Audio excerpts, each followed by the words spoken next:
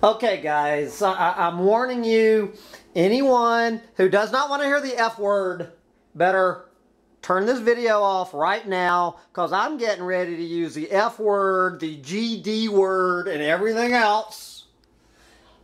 All right, I'm going to count to three. Then I'm free to use the F word and any any other uh, word I want to use. One, two, three. Okay, here I am. This is chapter four of Hambone house sitting adventure. You know, I just did a rant about, about, about all of this goddamn fucking technology that, you know, that I have lost track of in the past four years. I, I am in this kitchen. I am in this kitchen in mainstream America. I am surrounded by, by stoves, by toaster ovens, by fucking, uh, what is it, microwaves, by toasters. Good God, I've got, an, I've got enough shit in here to feed the Chinese army. I, I, mean, look at this. This is this is just my friends. The thing thing of of uh, of wooden spoons. Half of the Amazon jungle, three feet from her, save the Amazon uh, little refrigerator magnet is sitting here. There's about 200 of these wooden spoons. My God, there there's enough cutlery here to you know to slice up the remaining bison herds. What I want to do, here's what I want to do, and all of this shit. Look, look, look at this. Look at this refrigerator. Let me look at this. Look at this food overflowing the refrigerator. You know, I, you know, here's the dry goods thing. Uh, you know, what I want to do, guys, is I want a fucking can of beans. That's what I'm trying to do here. That's what I'm trying to do here. I am trying to heat up a can of beans. All right? But to do this, I need a a, uh, what do you call it? A can opener.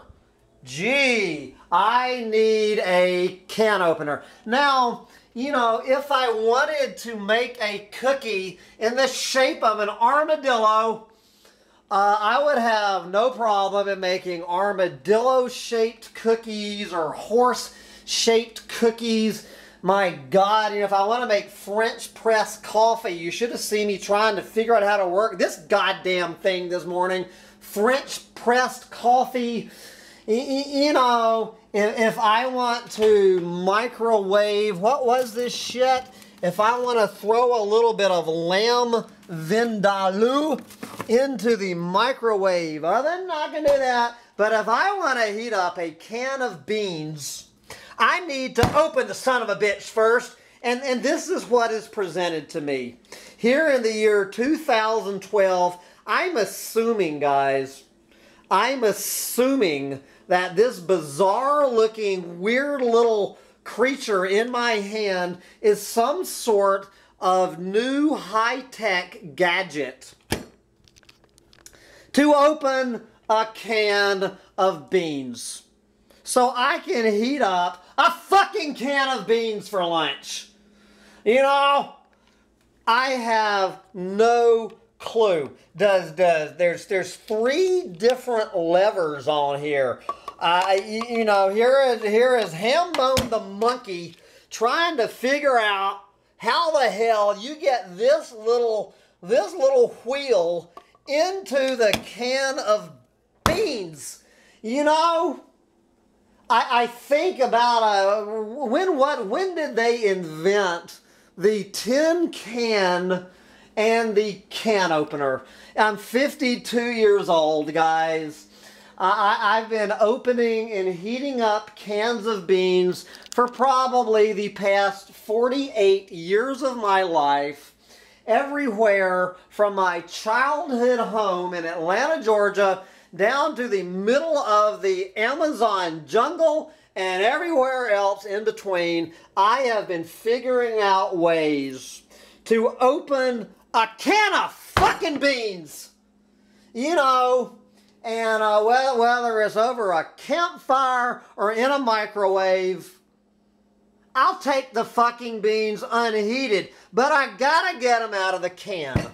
And whatever this motherfucking thing is here, this, this, this piece of plastic, I guarantee you, which was made in China, has stumped me. Has stumped Hambone the chimpanzee trying to, trying to house it in, in, in an average American home, trying to find something to eat a can of beans, which I brought with me from my trailer yesterday, and, my onion.